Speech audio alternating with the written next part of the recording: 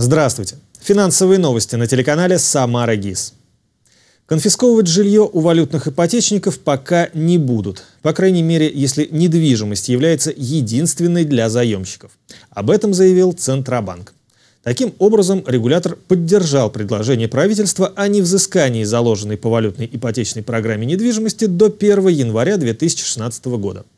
А вот предложение об установлении щадящего курса регулятор не поддержал, поскольку не увидел в нем источника и механизма компенсации значительных убытков, которые понесут кредиторы при его реализации. Ну, хоть квартиры не отбирают. И то ладно. Льготную ипотечную ставку могут снизить с 13 до 12% годовых вслед за снижением ключевой ставки Центробанком. Уже готов проект постановления правительства, определяющий условия выдачи льготной ипотеки, которую банки будут выдавать под государственные субсидии. Первоначальный взнос по таким жилищным кредитам будет составлять не менее 20%, а получить кредиты можно будет только под жилье, приобретаемое на первичном рынке. В Москве и Санкт-Петербурге кредит составит до 8 миллионов рублей, для заемщиков из других регионов до 3 миллионов рублей. Увы, нынче немногие себе даже льготную ипотеку смогут позволить. В Индонезию без визы. Уже в апреле россияне смогут обойтись без лишних формальностей при посещении страны 3000 островов. Все дело в малом по сравнению с другими азиатскими странами туристическом потоке.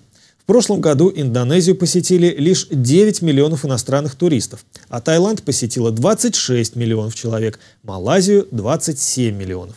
По прогнозам, отказавшись от виз, Индонезия сможет догнать лидеров года за два. Правда, в этом году на россиян-индонезийцам рассчитывать не придется. Российский фондовый рынок открылся повышением котировок по отношению к основной торговой сессии понедельника. Индекс ММВБ прибавил до отметки 1622 пункта.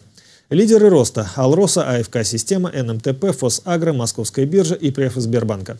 Среди лидеров падения – бумаги Мичела, Полюс золота и Акрона. Позитив на российском рынке поддерживает зеленое закрытие европейских и американских площадок, а также отскок вверх фьючерсов на черное золото. На азиатских рынках преобладают покупки, и только гонконгский индекс Ханг Сенг снижается. Курс доллара на 17 марта 62 рубля 14 копеек, курс евро 65 рублей 40 копеек.